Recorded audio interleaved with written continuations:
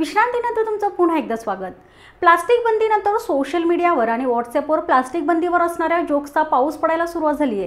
Plastic बंदीच्या निर्णयावर मिश्किल भाष्य करणारे सामान्यांचे प्रश्न आणि परिणाम काय? यावर मजेशीर पद्धतीने लिखाण करत प्लास्टिक बंदीचा उदो उदो सोशल मीडियावर होताना दिसतोय. प्लास्टिक बंदीनंतर मोठ्या प्रमाणात जोक सोशल मीडियावर फिरत आहेत. जसे की नोटाबंदीप्रमाणे प्लास्टिकच्या पिशव्या बदलून मिळतील का? मला दूध घ्यायचे आहे कागदात बांधून मिळेल का? प्लास्टिकचे रेनकोट चाललेल ना? नाहीतर महापालिकेवाले न्यायचे उचलून असे अनेक जोक्स सोशल मीडियावर व्हायरल झालेत. या जोक्सकडे तरुणाई कशा पद्धतीने पाहते याचा हा घेतलेला आढावा. प्लास्टिक बंदीनंतर आपण पाहिले की मोठ्या प्रमाणात त्याचा परिणाम नागरिकांवर झालेला आहे. मात्र या प्लास्टिक बंदीचा जो परिणाम आहे किंवा जो प्लास्टिक बंदी झालेली आहे तर त्यावर सोशल मीडियावर विविध जोक्स फिरतात व्हॉट्सअपवर विविध जोक्स फिरतात. या जोक्सबद्दल तरुणाईला काय वाटतं? किंवा या प्लास्टिक बंदीचा परिणाम जो व्हॉट्सअपवर फिरतो वगैरे तो कितपत योग्य आहे? किंवा ते जोक्स फिरणं कितपत योग्य आहे? ते आपण तरुणाईंकडनं जाणून घेणार आहोत. आता आपल्यासोबत काही तरुण मुलं आहेत स्पर्धा परीक्षांची तयारी करणारे आहेत. त्या आपण त्यांच्याकडनं जाणून घेऊयात की या व्हायरल जे जोक्स फिरतात तर त्याबद्दल त्यांच्या काय प्रतिक्रिया आहेत? काय नाव आहे तुझं? वैभव वैभव काय सांगशील आता तुझ्या मोबाईलवर पण असे जोक्स येत असतील तर कशा प्रकारे प्रकारे तू ते रिॲक्ट करतो? मॅम निर्णय अतिशय योग्य आहे. निर्णय अतिशय योग्य आहे परंतु परवाच एक मला आता आम्ही अभ्यास करत असताना थोडं स्ट्रेस फ्री होत असतो. त्यामुळे आता एक जोक आलेला मला की अ, म्हणजे कापडी पिशव्यांना प्लास्टिक कवर लावून मिळेल. अर्थ स्थळ अर्थातच पुणेकर. म्हणजे जोक अतिशय सुंदर होता परंतु निर्णय हा योग्यच आहे शासनाचा तसं बघायला गेलं तर. हा. बरं तुला काय वाटतं तुझ्या मोबाईलवर काय काय असे जोक्स व्हायरल झालेले आहेत? किंवा आता आपण पाहतो की व्हॉट्सअप आपण जास्तीत जास्त यूज करतो. तर तुला काय असे जोक्स आलेले आहेत का? हां काय आलेलं आहे तुला जोक्स? जास्ती त्यांचे चांगले पण आलेले आहेत. निर्णय खूप चांगलेला आहे. आणि काही असे वाईट जोक आले पण एखादं वाईट जोक काय आहे तुला काय वाटतं? म्हणजे आता झाली ती बंदी मान्य आहे त्याला पर्यायी व्यवस्था सुद्धा असणं आवश्यक होतं. पण हे जोक्स फिरतात तर तुला काय वाटतं? हे जोक्स फिरणं योग्य आहे? योग्य नाही आहे पण अंमलबजावणी करताना त्यांनी एकंदरीत जे काही दुकानदार आहेत गरीब व्यापारी आहेत त्यांना त्यांना त्रास होतो. बरं. तुझं ना काय नाव काय आहे? काय करतोस तू एम पी सी करतो बरं तुझ्या मोबाईलवर काय जोक्स आले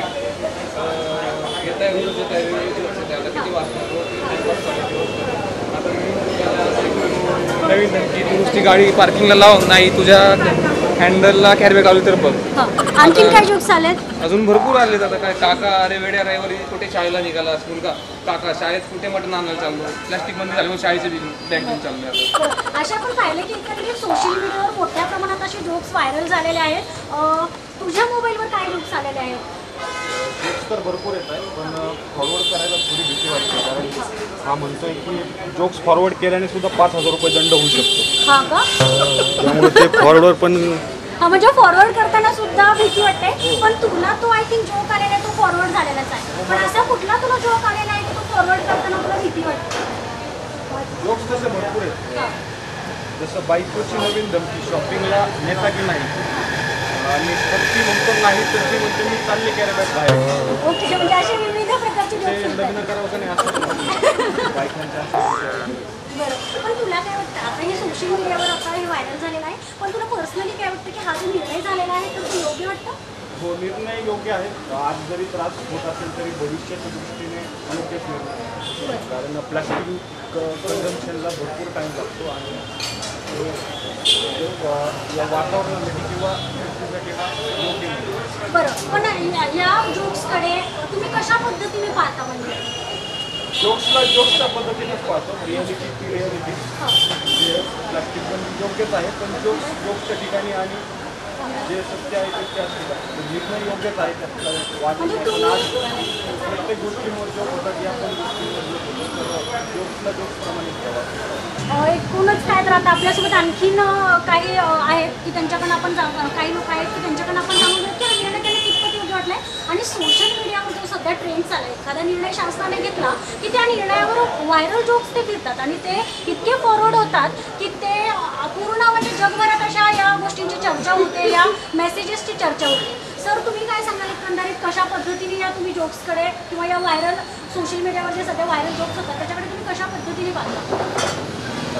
बघण्याचे दृष्टिकोन जो आहे शैक्षणिक जो निर्णय झाला तो चांगला निर्णय झाला प्लास्टिक बंदी व्हायला पाहिजे.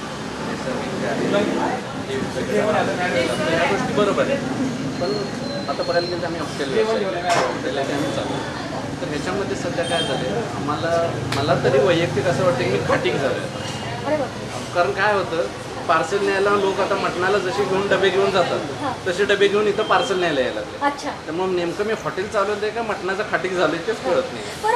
तुमच्याकडे सुद्धा अशी व्हायरल जोक्स आले असतील. काय तुमच्याकडे आता सध्या मोबाईलवर अशी व्हायरल जोक्स आलेले नाही कसं आहे जोक तर भरपूर आलेले आहेत. पण त्यातले जोक सांगायचं झालं तरी पण आता भीती वाटते. बरेच वेळा. नाही घाबरू नका. नाही, नाही. घाबरायचा प्रश्न नाही. मला तर आलेला जोक इतका भारी होता की रात्री बारा वाजता मी हसायला चालू केली. हो, काय जोक्स आहेत ते? तुमच्या मोबाईलवर तुम्ही दाखवू शकता का ते? जोक्स असा होता की तो दाबलत ना कमाळ दाबलत ना कमाळाचं बटन आता खिशात घेऊन जा मटन अच्छा अशा प्रकारचे अशा आणखी? प्रकारचे जोक आलेले आहेत. बरेचसे असे जोक आहेत की अं, म्हणजे आता आमच्या हॉटेलसमोर जसं पार्किंग असतं. त्याच्यामुळे पार्किंगला गाडी लावू नको नाहीतर येऊन पिशवी टाकेल.